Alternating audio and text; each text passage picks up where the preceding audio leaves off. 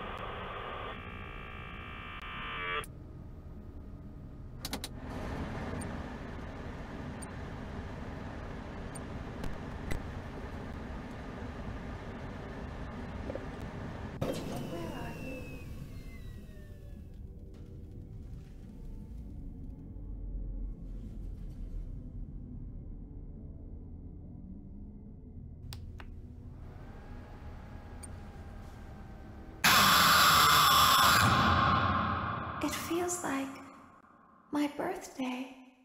Did you have a gift for me?